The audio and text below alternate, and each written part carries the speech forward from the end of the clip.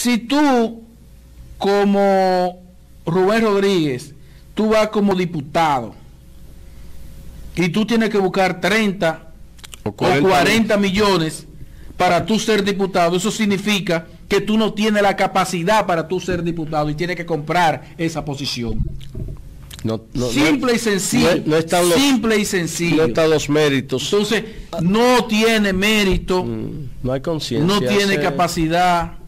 Eso es así. Tú tienes que buscar dinero para eso. Sí, o sea, comprar la posición. Comprar la posición.